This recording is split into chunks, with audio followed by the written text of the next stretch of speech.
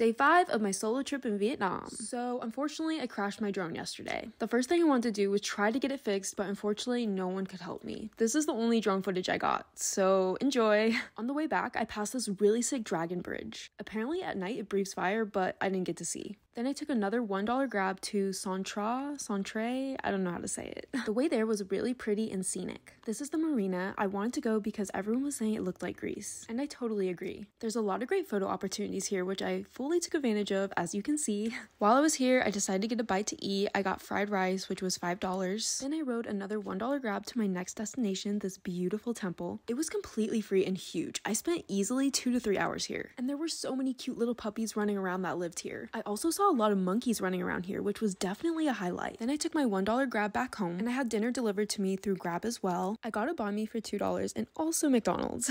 Don't judge me.